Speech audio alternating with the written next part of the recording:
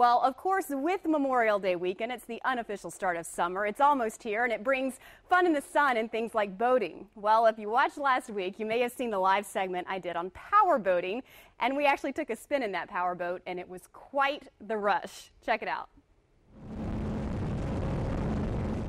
It's about power. And I think boaters live longer.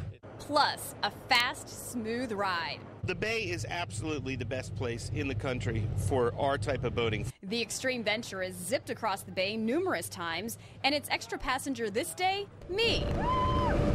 105 miles an hour, wind in my hair, and loving every minute of it. But my cruise, nothing compared to the power boats that race and hit speeds of up to 210 miles an hour. There's a big race in Ocean City this weekend. We're going to get the boats into town on Friday. We test on Saturday. We're going to race on Sunday. Mike Yawoski works for the board that's basically the NASCAR of powerboats and says that the Ocean City race is an awesome sight for spectators. They're going to see a really, really good time. They're going to see the fastest boats in the world take to the Atlantic Ocean. Depending on what the weather's like, it could be rough, it could be calm, we could be getting big air. We could jump the length of a football field in a second. On this day, I was certainly no spectator, though I did handle the wheel very carefully.